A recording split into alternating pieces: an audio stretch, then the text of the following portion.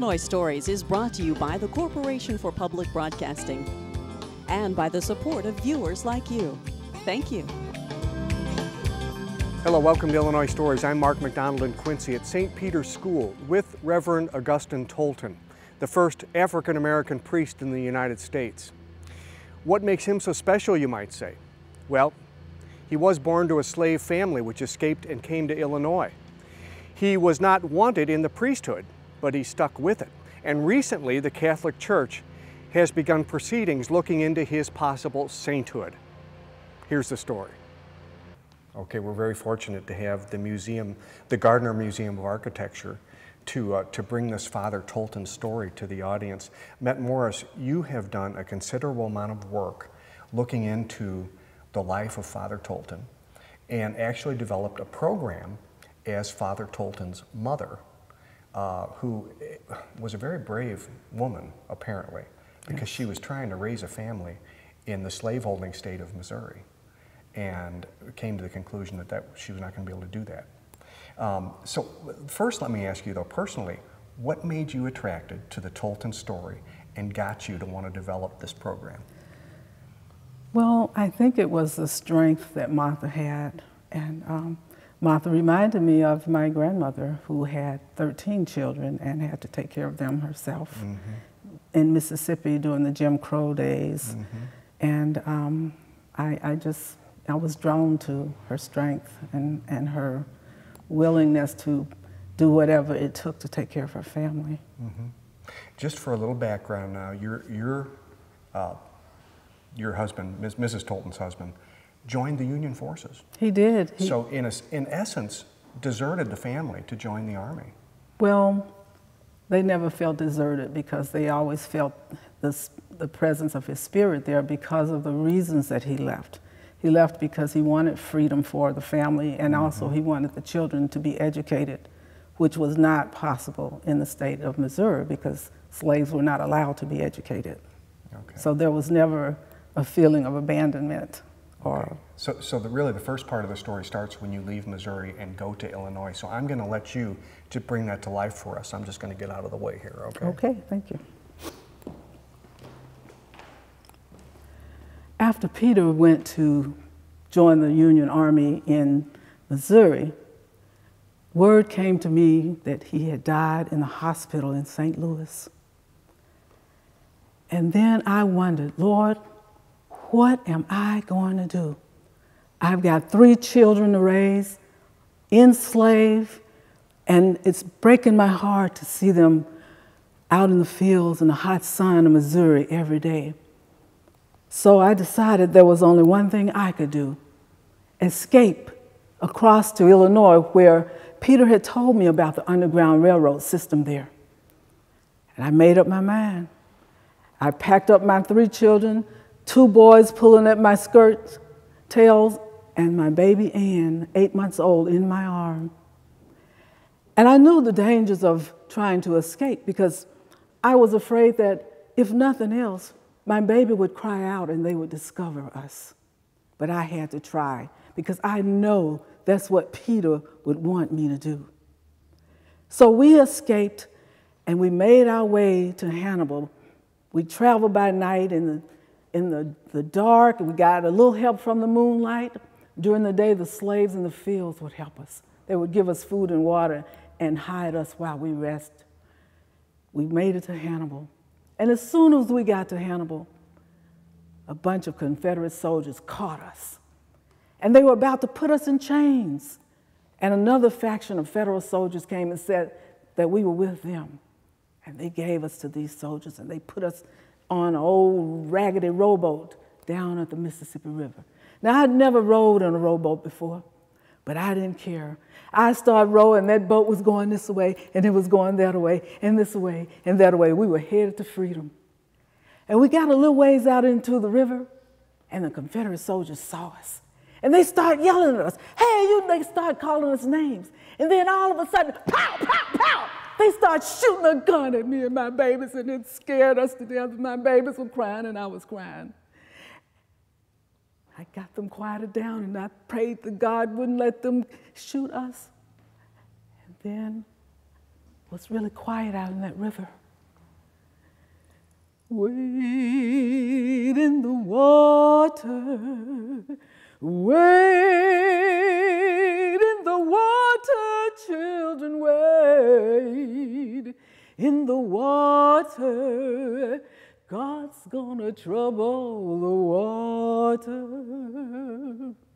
And early in the morning, I could see the shores of Mississippi. And we got closer there were men on the banks, and I, my heart went to my feet. I thought, oh God, not the bounties. Don't let them get us after all we've been through to get here. As we got closer, they were German fishermen, and they recognized us as runaways, and they took us off of that old, beautiful, dilapidated rowboat. They gave us food and water and a place to rest, and they showed us how to get to Quincy so that we could work the get with the Underground Railroad system to our freedom. Father Roy Bauer, you not only have you had a long career as a priest, but you grew up in Quincy. So sort of like Father Tolton, you went to Quincy schools and, and, and, all that, and, and as a result of that, you're very familiar with. Father Tolton, aren't yes, you? Yes, I have been all my life. He had a kind of a tough go, didn't he? Yes, indeed. Um, in his, uh, by, by the time he got to Quincy, then of course there was a problem about his education at St. Boniface School, uh, where he was rejected by the other students and by the parents mm -hmm. of the mm-hmm. other students. And so uh, he had to leave that school, and that was when uh, Father Peter McGirr at um, St. Uh, Lawrence, the church was called at that time, it's now St. Peter's, uh, accepted him in St. Peter's School, and so he got a lot of his basic education then at uh, uh, St. Peter's School. And he, he also worked, he was only able to go to school uh, when he was not employed. Uh, he worked in a, uh, a, tobacco factory down at Fifth and, and Payson Avenue. Mm -hmm. And then in the wintertime, when that was closed, is when he went, to, went to school at St. Peter's. Mm -hmm. Is, is it your sense that he always wanted to be a priest? Well, yeah, well, I kind of think so. You know, because it, he served Mass every day. Uh, and, you know, eventually, I, I don't know whether Father McGirr brought it up or whether he brought it up to Father McGirr about um, studying to be a, be a priest. But then he's got more education, you know, at um, um, St. Francis College at Quincy University. Mm -hmm. So. Mm -hmm. You know, uh, he, he must have uh, been aware that there were no black priests in the United States. Yes, I'm sure he was. Um, there were three priests before him who were partially black, but they were not recognizable as black. Mm -hmm. uh, they were from Georgia. Their dad was an Irishman, uh, the mom was a very light-skinned slave, and uh, so his the, the children were technically slaves, but the but they uh, they were not recognized as blacks. And mm -hmm. then the dad sent them up north for these are the Healy brothers. They talk about the Healy brothers, and uh, sent them up north so they would not you know people would identify them as black and mm -hmm. as as slaves. And one of the Healys became uh, eventually became the uh, bishop in the state of Maine.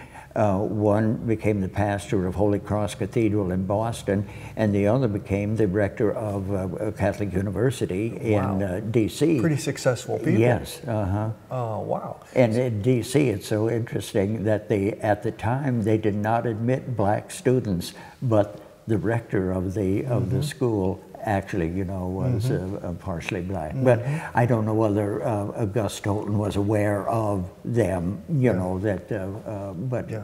so. But, but he must have known, just given his experiences, that he was kind of fighting an uphill battle, wasn't yes. he? Uh-huh. He, he ran into roadblocks all the, all the way through, even in just trying to get an education and then uh, clear on, uh, without Father McGirr, I guess it, it, would not have been possible. That's probably true, mm -hmm. yeah. Mm-hmm. Um, he, you mentioned that he had certain qualities which make him saintly. And, and, I, and I, think, I think one of them said you he was a long suffering Yeah. individual. Describe that to Yeah, okay. In, uh, in the old catechisms of the Catholic Church, they talked about the gifts of the Holy Spirit, that if a person uh, has, has the Holy Spirit, what the fruit of the gifts of the Spirit are, what a person's life is like. And one of the fruits of the Holy Spirit was called long suffering. Now, nowadays in the Catechism, they don't use that expression, they just use the word patience. Well, the word patience, you know, people use that word all the time. You know, they say, I got impatient waiting for the traffic light to change. But uh, I really like that expression, long suffering, because it means that a person will, if you know you're doing what is right, uh, you- that you're, you're going to follow through no matter what the uh, trials or tribulations are going to be.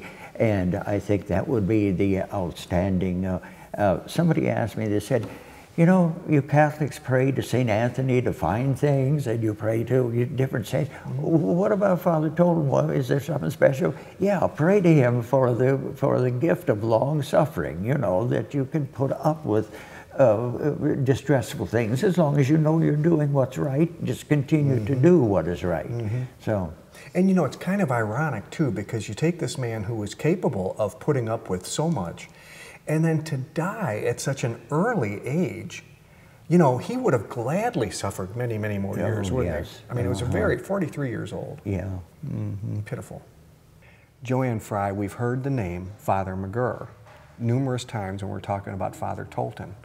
Turns out he was a relative of yours, and Right. tell me if I'm right. Right. Great, great, great uncle. Correct. Okay, and and everybody in the in the family knew his story and his relationship with Father Tolton.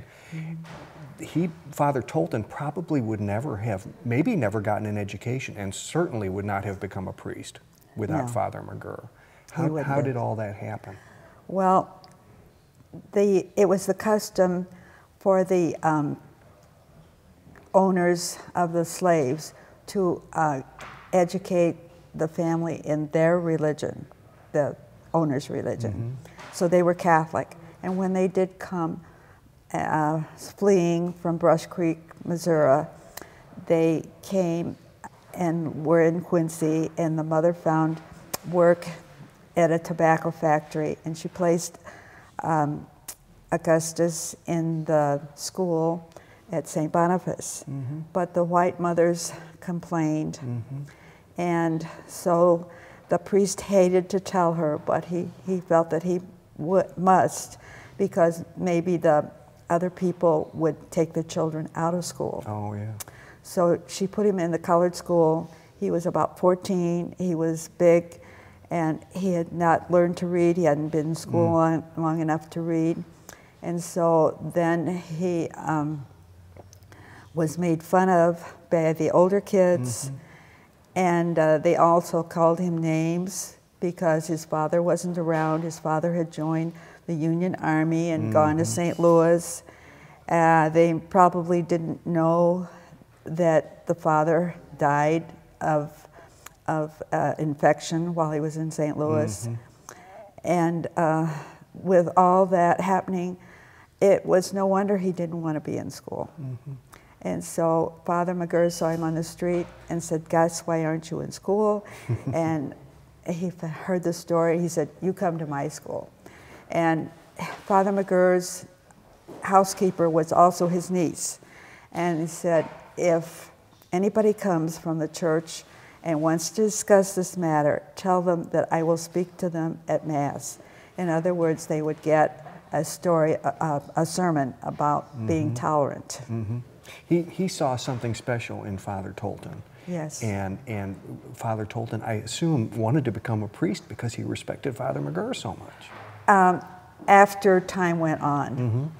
Uh, and then Father McGirr saw that he not, had tutoring by the brothers that were almost next door because Quincy College started uh, across the street. Yeah. Father Zimmerman, way back in, uh, uh, well, you told me the year, uh, maybe 1997, I'm not sure, you helped put together a 100th anniversary uh, for, for the death and in, in, Right. a commemoration for the death of Father Tolton. You and Father Bauer did that. And I'm sure that was Father Bauer's, it was largely his initiative because he was pastor at St. Peter's. He commissioned a statue of Father Tolton at St. Peter's, which is there on the grounds, you know, up against the school. And he renamed the old convent there Tolton Hall. And You can see that big sign there when you go to St. Peter's. Mm-hmm. Mm-hmm. and, and so you had people really from all over, all over the country. Yes, we tried here. to get people, especially over the Midwest, but we had, we had Archbishop Rigali from St. Louis, and I believe there were like 15 bishops uh, that came from Mm-hmm. all over. And so, uh, yeah, we had Yeah. So you became sort of a de, a de facto go-to guy when it came to Tolton. You Mm-hmm. Yeah. and Father Bauer. The two of us, yes. Yeah, Mhm. yeah. And, And he, he, know, he knows more about it, you know, well, like he, I think he told you that he used to had some contact with the church before it was torn down, where Father uh, Tolton, you know, Mm-hmm. Yeah. ministered. And so. Now, recently, uh, Rome has become aware of Father Tolton's gifts and is considering him for statehood. And in fact, you and Father Bauer up- sainthood. I'm sorry, for saint. God, I'm doing a different story. Um, you and Father Bauer were invited to Chicago for sort of a fact-finding. Uh, It, it was an, it was a kind of a liturgical. Uh, it took place in this chapel, a beautiful little chapel, which is a copy of the Sainte Chapelle in Paris, and it's a magnificent little church. And the place was packed. I mean, uh, and then they had, uh, you know, they had prayers and readings and all that. And then I remember at one part of the ceremony, they they named certain people who were going to be in charge of keeping the, the evidence for this, uh, for this canonization. And then they had to take an oath and sign papers and all that. And that was all part of the ceremony. Yeah, and and this canonization can can take a long time. Yes, it it's, can. It's a very uh, strict. They follow very strict proceedings, don't they? Yeah, and one of the things they have to do is is is prove that, or beyond at least to satisfy them, that that Father Tolton was involved in a couple of miracles. Yes. And is there any evidence of such a thing? As I say, I heard a story of one, and I don't know the details of it, so I really don't think I should talk about it. But that's all I know right now. Um, when he was when he was in Quincy, um, b- trying to get an education, Mm-hmm. it was a very difficult thing for him to do because blacks at the time it was not a ready thing, was it? It was something right. That somebody had to really get behind and, and, and help him along. What See, it like- slavery, slavery really discouraged any kind of educating of slaves. It was dangerous even to learn to read. And so, uh, and I think that, that attitude rubbed off, you know, even though slavery was gone for 15 years by the time he went to the seminary, why, it still, those attitudes linger, you know. Mhm. And how did he finally get to the seminary? Well, uh, Father McGirr at St. Peter's worked with him, and um, uh, let's see. See, there were some Franciscans at St. Francis College, which is now Quincy University, who uh, who stepped in and kind of tutored him. There was another priest, I think, at St. Boniface, who tutored him too, and maybe even two of them, uh, as I recall, that uh, gave him private lessons of various kinds, and they they taught him, you know, taught him, I guess, languages and uh, religion and things like that. And uh, the most important person in my in the story that I tell is Father Michael Richardt, who was a Franciscan at, at St. Francis College, uh, who was involved in helping him. He, I think Father Michael had also uh, begun some kind of a catechism program down at the St. Joseph's Church. This was before Father Tolton was ever ordained. He was ministering to black Catholics in Quincy, and he had, he had uh, Augustus Tolton working at this church giving lessons to the children there, see? And uh, so when it came time for him to go for a seminary, they, they kept writing to seminaries all over the country and nobody would accept him. Uh, I think part of it was that there were laws in many states that said that a black and a white cannot stay overnight in the same place, you know, and they didn't want to get in trouble for, for that kind of thing. And then uh, I just recently uh, read an account that said, like in Teutopolis, Illinois, the Germans there were facing enough um, enough uh, prejudice on because they were German that they didn't want to handle another prejudice dealing with race issues. So they, they didn't want to have him. Father Michael uh, wrote to Rome, and it turned out uh, originally I think Father McGirr and even the bishop I think had written to Rome asking to get him into this seminary in Rome called the Propaganda. It, that's a Latin word that means uh, basically spreading of the faith, you know. And um, they, they wouldn't accept him, but Father Michael uh, knew the Franciscan head of the Franciscan order in Rome, and he knew the cardinal in charge of this seminary. And through that sort of, uh, who, you know, who knows who you know Mm-hmm, connections, uh, they got him admitted to the uh, seminary in Rome. And so that's how he got there, and um, Mm-hmm. then went on to finish his studies and be ordained. Peggy Frankenhoff, you know, since Father Tolton has become so famous recently, and because they're thinking about him for sainthood, anything that he signed or touched or had anything to do with has become very significant. And turns out that you became aware, you and your husband became it came in possession of this some time ago. And uh, for those who don't know what it is, it's it's a certificate of First Communion um, and it's certified that Father Tolton presided at this at this ceremony. How did you how did you come to own it? I believe it's a baptismal. Baptismal? Baptismal, yes. Okay. Bought it at an auction, Mm-hmm. and I think the auction was uh, of a colored family, and uh, they had it there, and he recognized who it was, and Your husband did? yes, Yeah. and uh, someone else had bought it, and he uh, wanted me to ask them if they would sell it. Mm-hmm. They did. Yeah. And and it, you know it's really beautiful. Yes, it is. Yeah. So not only do you mm-hmm. have something that's historically significant, but you got something that's pretty as well. Lots of color. Yeah, lots of color. So you're not going to part with it, are you? No, no, It's really neat. not today. yeah. Thank you. When Gus was ordained in Rome, he was sent back to Illinois. He came back to Quincy, and he did his first high mass in St. Boniface Church. People came from all around to hear him. And when he was done with his high mass, they assigned him to minister to the colored people at St. Joseph's Church in Quincy. And every Sunday, that church was filled with black and white Catholics because they wanted to hear Gus. He was a great speaker, and they could feel God coming through him. He loved the Lord, and he never failed to let everyone know that. There was a priest named Father Weiss, and he was angry with Gus because all the, the parishioners came from other churches to his church. Every Sunday they would come to hear him and left hardly no one at the white church.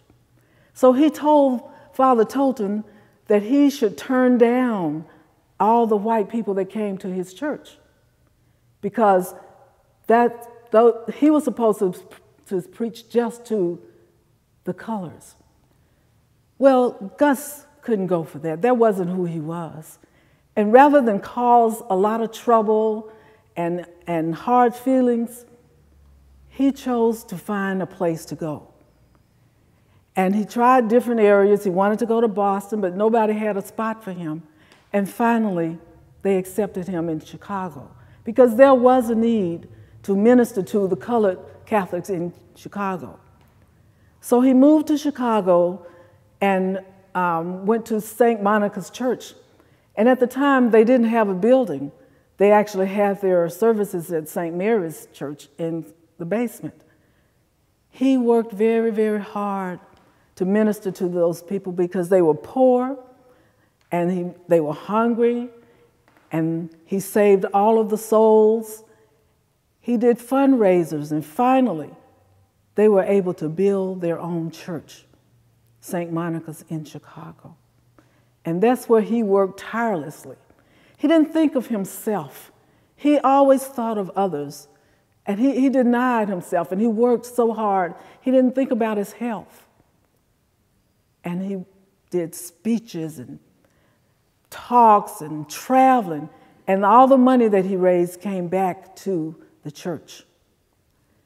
At the age of 43 years old, which is so young, he fell dead from a heat stroke.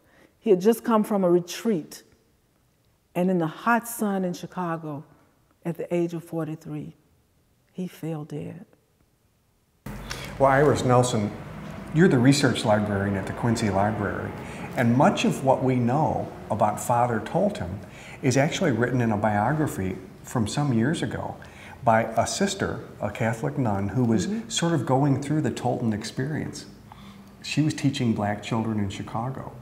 Yes, that's right. And she was teaching, it was her first year of teaching in 1933. She was teaching to black children in Chicago. She learned of St. Monica's, which was gone at that time, but she learned of St. Monica's and Father Tolton mm-hmm. while she was in her first year of teaching. And that basically set off her curiosity to continue the research for 40 years. Wow. This book was published in 1973. So for many of her years, she was interviewing, for example, Tolton's parishioners. Mm-hmm. She was interviewing his mother and his sister.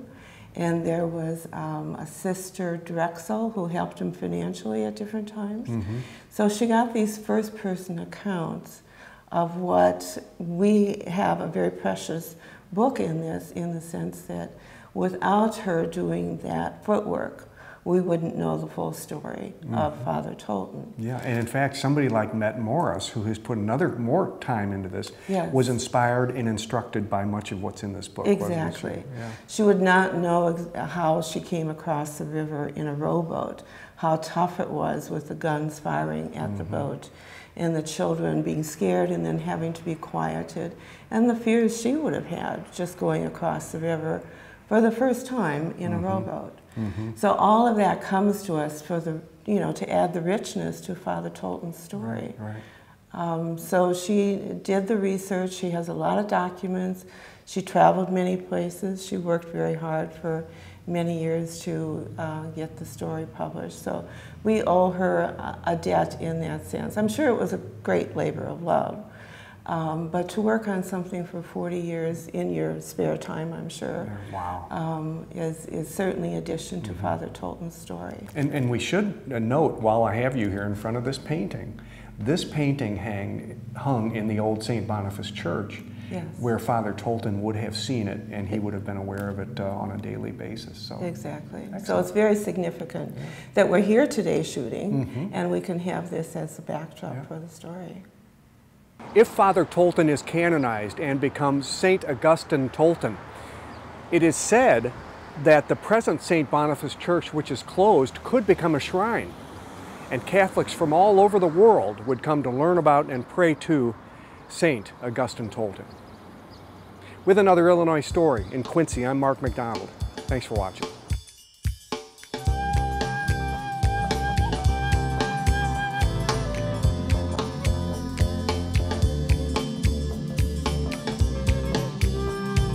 Illinois Stories is brought to you by the Corporation for Public Broadcasting and by the support of viewers like you. Thank you. For a DVD copy of the program you've just seen, send 1995 to Network Knowledge, P.O. Box 6248, Springfield, Illinois 62708. Be sure to include the program name, subject, and when the program aired. You can also order with your credit card by calling 800 232 3605.